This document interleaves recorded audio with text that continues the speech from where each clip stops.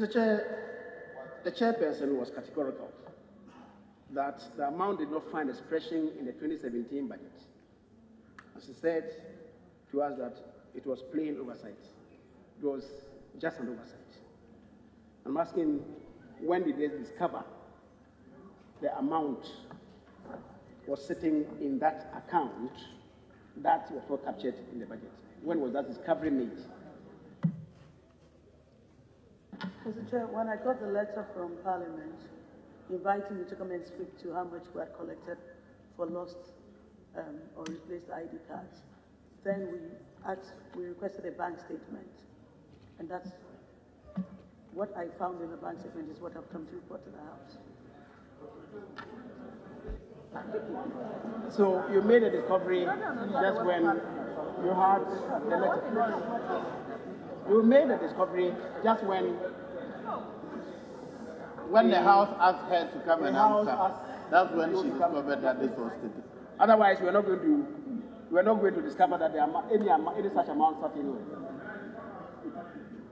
Mr. Chair, I'm not the entire commission. There are other people who work on these things. I'm speaking for myself as chair. Mr. Brett, I can, I can Thank you very much. Mr. Chairman, Mr. Chairman, that is that is very informative. Mr. Chairman, please let me explain. Mr. Chairman, Can I explain? Mr. Chairman, the chairperson. Leader, she says she has further explanation to that. Allow, she says she has further explanation to that. Can I allow? Mr. Chair, the way the question was couched is when did I discover? And I'm saying I, as a person, when I got the letter from Parliament, I requested a bank statement, and then what I found is what I've presented. There are other people who work within the department on this every day, so it's not a discovery matter, so to speak. They must know what is being paid into the account and what is happening there. So when you said it was an oversight, when you said it was an oversight, were you speaking for those of them who who cover that or, or for yourself? No. For myself, because I have not spoken to them yet. If you allow me, I'll and engage the technical staff who prepared the budget and find out exactly what happened. The question was, the question was, how come that it didn't find expression in the 2017 budget? And you told us that it was an oversight. Mm-hmm. So how can you say that you're speaking for yourself? Because no other, unless I engage them, I cannot give you any other explanation. If you allow me, I can go back, sit with the technical people, and then come back to you. So, so in that case, you should have told us that you need to consult the officers in charge. Why don't you tell us?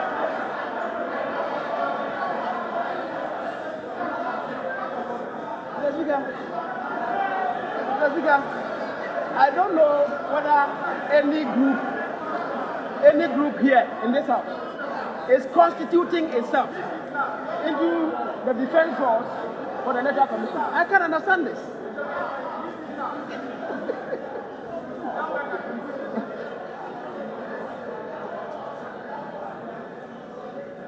Mr. Chair, because when the question was asked, how come that it didn't find expression in the budget? The response was that it was an oversight. If it was your personal oversight and not that of the commission, certainly it should have found expression in the budget. So I think the, the necessary, the necessary um, understanding or implication was that it was an oversight on behalf, on the part of the commission. That is why it is strange you now saying that, oh, when you said it was an oversight, you are referring to yourself. But let me leave that. Mr. Chairman, the chairperson was asked a question about the procurement process. And he says um, you have to further consult. He doesn't have that um, now. Is that my understanding? Whether the process. May I know And how many printers? how the services of the printers were procured?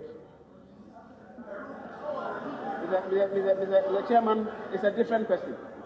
It's a different question. It was whether the allocation to the Majority printers Leader, if were you address me and I, I avoid, Yes, ignore were the allotments. aside. Mr. Just to clarify it, what came from my deputy was whether the allocations to the printers were in allotments or how were they done. I'm asking, how were the services of the printers procured? That's a different question.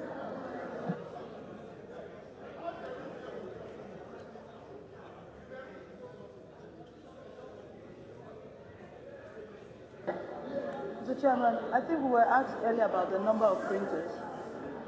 We were asked earlier about the number of printers